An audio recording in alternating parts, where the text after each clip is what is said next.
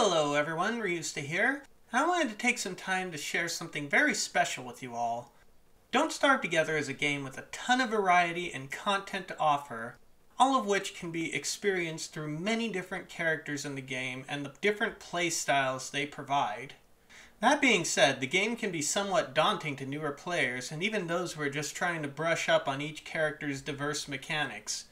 As such, I wanted to help everyone by creating an in-depth guide that goes into the myriad strengths and weaknesses of each character as well as the various different ways you might consider using them as you start a new game. Now, we have a lot to cover, so let's begin with Wilson. Wilson is the baseline character that has recently gotten a rework which gives him incredibly potent abilities as his insight grows. So, when starting out as Wilson, what you want to do is find the savanna region as you collect grass and twigs. Once you have all those and get all of the needed materials, go ahead and craft a beefalo bell and a saddle. Then, tame a beefalo. This is very key as it helps add variety to Wilson's playstyle and will help you with your next step, which is to go into a cave and rush to the ruins. Using this strategy, you should be able to take full advantage of Wilson's new traits and abilities. Willow. Now, Willow is quite a bit different from Wilson, and as such will need a slightly different approach. This little firebug is immune to fires, which will prove to be a big help as you start the game searching for grass, twigs, and other assorted raw materials. Once you have found those materials, what you want to do is craft a beefalo bell and a saddle, then find a beefalo in the nearest savanna. Tame the beefalo, and then find a cave entrance. From there, you want to make a beeline to the ruins. This will get you all set for the rest of the game once you clear them. Wolfgang. Wolfgang is an absolute powerhouse character that benefits from really tough playstyles. Because Wolfgang is able to fight enemies so well, he is incredibly well suited to finding a savanna on his journey. After assembling some grass and twigs, Wolfgang can use a bell and a saddle to tame a beefalo. With a beefalo tamed, find an entrance to some caves, then try to find the ruins. Because Wolfgang is such a hardy, powerful character, he's up to the challenging battles he'll encounter there. Wendy. Wendy is a very unique character that does less damage with her attacks, but is able to become a force to be reckoned with by utilizing her one true companion to aid her. Because some bonds transcend even death, Wendy must make full use of her truest friend and family, a beefalo.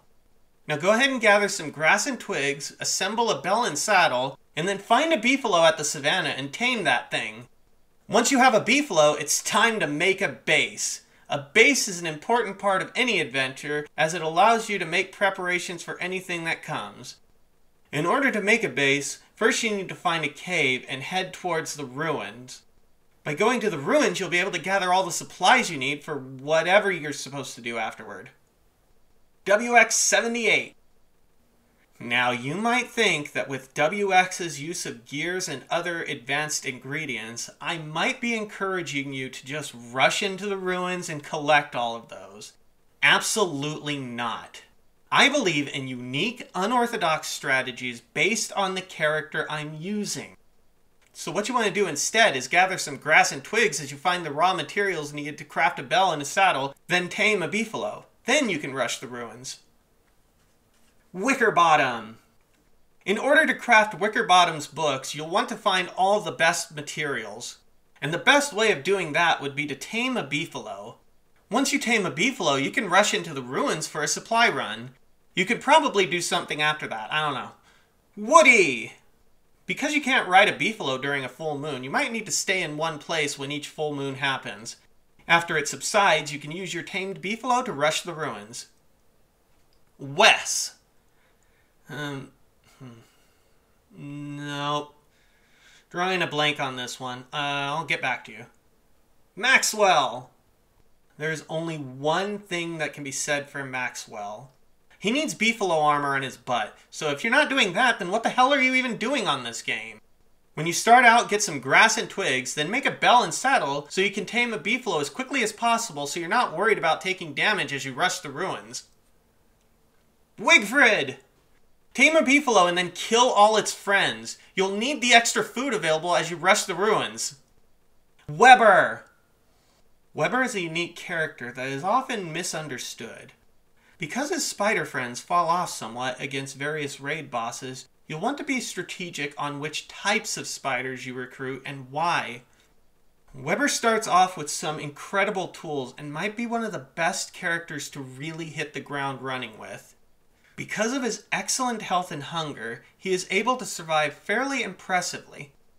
Webber also has one of the least restrictive diets in the game, which can be incredibly valuable for keeping on the go. The fact that Webber can eat uncooked meat and monster meat with no penalty means he doesn't have to waste a lot of time cooking in the early game. This gives him more flexibility for exploring and expanding his repertoire of potential spider types to have as allies. Early on, you might want to try to upgrade a spider home to level 3 and get a spider queen to come out of it over time once it becomes overgrown. Once the queen is out, make sure she's engaged in combat as soon as possible. This can be done by either aggroing something like a pigman onto the web or doing it the hard way by attacking her yourself.